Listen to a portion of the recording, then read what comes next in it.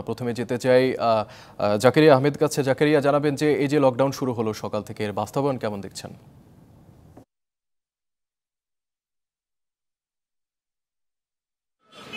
আমরা এই মুহূর্তে রয়েছে গাবতলিতে যেটি রাজধানীর একটি প্রবেশ পথ আহ, অর্থাৎ উত্তরবঙ্গ এবং বিশেষ করে বাংলাদেশের উত্তরাঞ্চলের যে জনসাধারণ তারা এই গাবতলি দিয়েই ঢাকায় প্রবেশ করেন এবং ঢাকা ত্যাগ করেন। আমরা এই গাবতলির এই মুহূর্তে দেখতে পাচ্ছি যে এই ঢাকার প্রবেশগামী যে সব যানবাহনগুলো রয়েছে, তা সেগুলো কিন্তু আইনশৃঙ্খলা রক্ষাকারী বাহিনীর সদস্যরা তাদের এখানে ঢুকতে দিচ্ছেন না, প্রবেশ করতে দিচ্ছেন না, তাদেরকে ঘুরিয়ে দিচ্ছেন, যেটা আমরা দেখতে পাচ্ছি।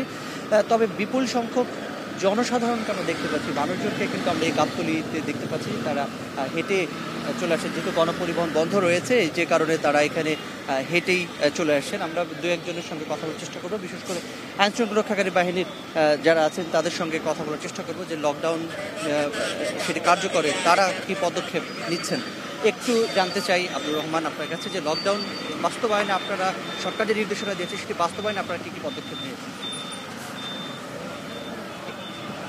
না, এই মুহূর্তে আমাদের ই হচ্ছে যে কোনো যাত্রীবাহী বাস আমাদের শহরে ঢুকবে না এবং যে প্রাইভেট বাসগুলো আছে প্রাইভেট বাসও ঢুকবে না এবং প্রাইভেট কার এগুলো যদি মেডিকেল পারপাজে যেগুলো যাবে, শুধুমাত্র সেগুলো প্রবেশ করবে, জরুরি প্রয়োজনে। এছাড়া কোনো প্রাইভেট গাড়িও শহরের ভিতরে ঢুকবে না।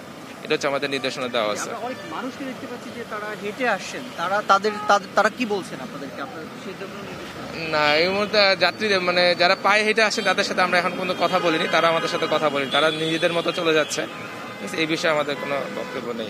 সরকারের যে লকডাউন যে কারণে দেয়া করোনা মোকাবেলার জন্য সেটি কঠোরভাবে নিশ্চিত করার জন্য আপনারা কি কি পদক্ষেপ? আমরা এই যে আমাদের যে পালন করতেছি রাস্তাঘাটে যে বিষয়গুলো, সেগুলো আমরা কঠোরভাবে পালন করতে যে কোনো যাত্রীবাহী বাস ভিতরে যাবে না এবং প্রাইভেট কার মোটরসাইকেল সেগুলো যাবে না। মোটরসাইকেল যদি যায় নিজস্ব একজন মোটরসাইকেল যাবে আর কি। কোনো পাঠাও বা এই ধরনের কোনো মোটরসাইকেল যাবে না। এই ব্যাপারে আমরা পদক্ষেপ নিচ্ছি। আমরা দু একজন সাধারণ যারা পথচারী আছেন, তাদের সঙ্গে একটু কথা বলার চেষ্টা করব যে এখন তো লকডাউন চলছে আজকে থেকে, জানেন? তো আপনারা মানে কি করছেন এখানে? না বাসা যাই দিচ্ছি কাজে যাচ্ছি। কাজ কাম ছিল কাছে যাই দিচ্ছি বাসা থেকে। আচ্ছা, আমরা একটু পথ চলতে মানুষের কাছে কথা বলতে চাই। আজকে তো লকডাউন চলছে বাইরে কেন আসছেন? আমি অফিসে যাচ্ছি। অফিসে যাব দারুণ শ্রমিক। এই জন্য যাচ্ছি। আমরা যেমন শুনছিলাম, যারা আইন শৃঙ্খলার দায়িত্বে আছেন তারাও যেমন বলছেন এবং যারা পথচারী রয়েছেন, তারাও বলছেন যে লকডাউন নিশ্চিতের জন্য আইন শৃঙ্খলা রক্ষাকারী বাহিনীর সদস্যরা চেষ্টা চালিয়ে যাচ্ছেন এবং আমরা এই গাবতলিতে যেটি দেখতে পেলাম যে ঢাকার বাইরে থেকে যে যানবাহনগুলো আসে, গণপরিবহন, তাদেরকে তারা এখানে প্রবেশ করতে দিচ্ছে না ঘুরিয়ে দিচ্ছেন তবে জনসাধারণকে আমরা কিন্তু দেখতে পাচ্ছি, তারা হেঁটে তাদের গন্তব্যে যাচ্ছেন, অনেকে বলছেন তার কর্মস্থলে যাচ্ছেন। তবে সত্যিকার অর্থে যদি সবার সম্মিলিত প্রচেষ্টা না থাকে, সবাই যদি সচেতন না হয়, তাহলে কিন্তু এই করোনা মহামারী বা এই লকডাউন সেটি কার্যকর হবে না।